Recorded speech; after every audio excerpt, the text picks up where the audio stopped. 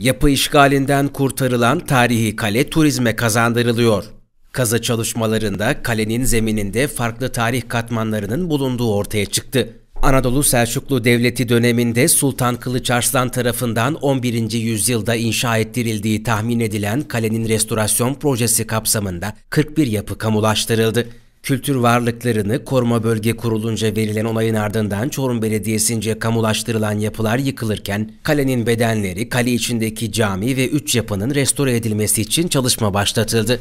Restorasyon çalışmaları kapsamında kalede ayrıca jeoradar uygulaması yapıldı. Jeoradar uygulaması neticesinde kale içerisinde belirlenen farklı bölgelerde yapılan kazı çalışmasında kale surlarının çok daha derinde olduğu ve zemininde farklı tarih katmanlarının bulunduğu tespit edildi. Kazılarda dönemin günlük yaşamına ait objeler de bulundu. Çalışmalarla ilgili açıklamalarda bulunan Çorum Belediye Başkan Yardımcısı İsmail Yabat, kale zemininde yüzyıllara sari bir yapılaşmanın olduğu tespit edildi dedi. Çorum Belediye Başkanımız Halil İbrahim Aşkın'ın seçim taahhütlerinden olan Çorum Kalesi'nin yenilenmesi ve turizme açılması ile ilgili çalışmalarda, proje çalışmalarında sona gelmiş durumdayız. Önceliğimiz kale duvarlarının sağlamlaştırılması ve restorasyonuna yönelik olarak bir projenin hazırlanmasıydı. Bu projenin e, yürütülmesi sırasında e, teknik ekiple projeyi hazırlayan, e, projeyi yürüten teknik ekiple yapmış olduğumuz görüşmeler neticesinde burada daha sonra yapılacak imalatların önüne engel olmaması açısından georadar uygulamasının yapılmasının e, daha uygun olacağı e, bize teklif edildi. Konu belediye başkanımıza iletildi. Belediye başkanımız da tarihi ve e, turizme vermiş olduğu e, önemden dolayı, kalenin turizmine, turizme açılmasına vermiş olduğu önemden dolayı bu georadar uygulamasının açılmasının, e, yapılmasının daha uygun e, olacağı talimatını verdi. Biz teknik arkadaşlarla beraber şehir dışından bir bilim heyeti çağırarak burada georadar uygulamasını yaptık.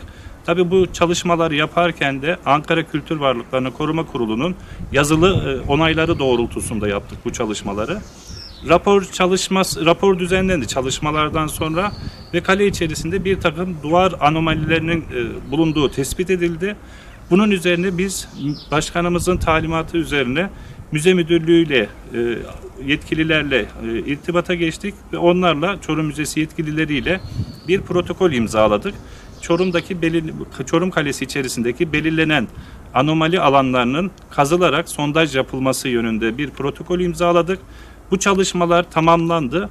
Çalışmalar sonucunda kalenin içerisinde yaşayan bir alan olduğu ve e, katmanların aşağıya doğru indiği, e, yüzyıllara sari bir yapılaşmanın olduğu tespit edildi. Yine çalışmalar sırasında gündelik yaşama e, ilişkin bir takım objeler e, belirlendi, bulundu. Bunlar müzemiz tarafından, e, görevliler tarafından koruma altına alındı. Şu anda müze müdürlüğü yetkileri, kazı yetkililerimiz tarafından bulunan objelerin ve yapılan sondaj çalışmalarının tarihlendirmesi ve teknik incelemeleri yapılmakta.